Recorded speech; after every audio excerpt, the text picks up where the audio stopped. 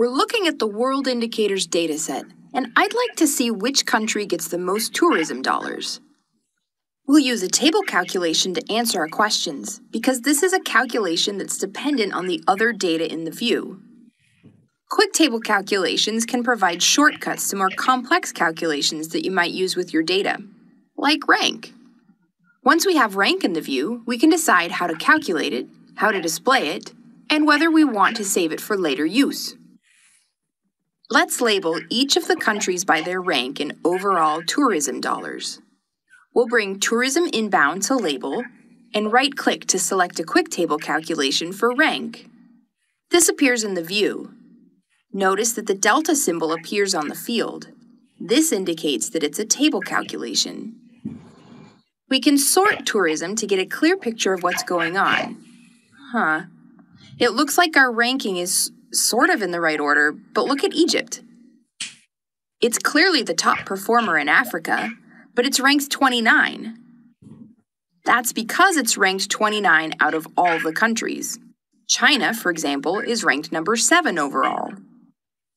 If we want to see the rank of each country in their own region, we can change the way the rank is computed to show by pane down. Just right-click the field again and select Compute using Pane Down. Now Egypt is ranked number one, and China is ranked number one. These countries are each number one in their own region, or pane. Particularly when you use rank, you may want to edit the table calculation. To do this, right-click the field and select Edit the Table Calculation. This brings up the Table Calculation dialog box. It's non-modal, which means that as we make these changes, the view updates. That can be helpful if you're trying things out.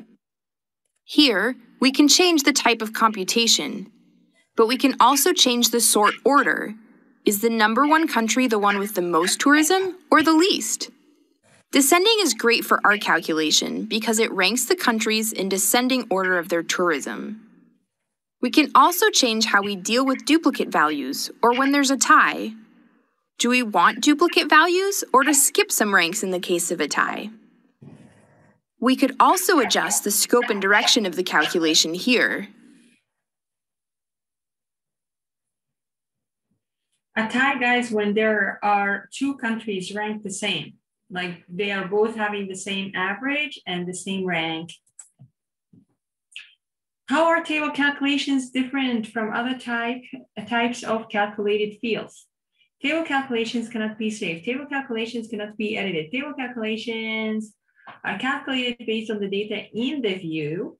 Table calculations are processed on the database level. I would say this, and let's see, yeah.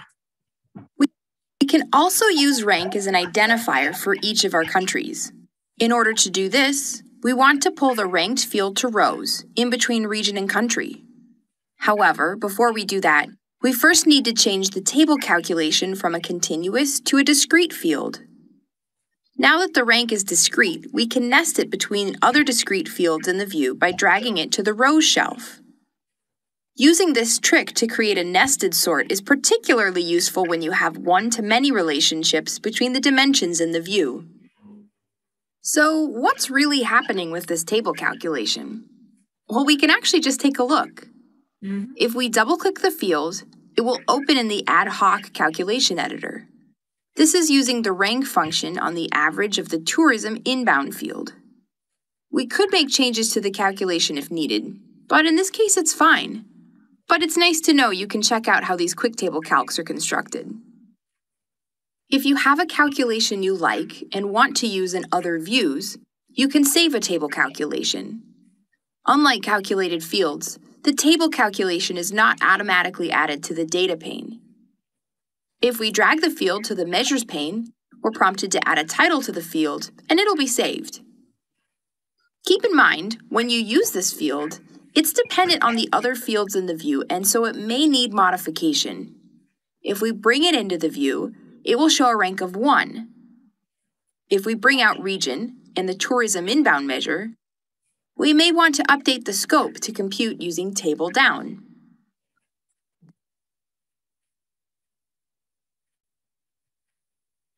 This table calculation has a compute using value of table. Okay, compute using.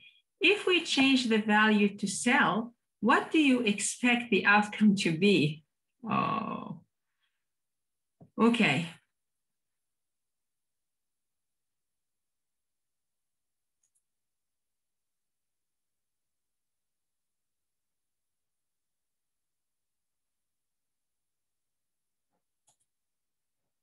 Why would you think that they would all be ranked as one? Because it is in within the cell and the cell has only one value.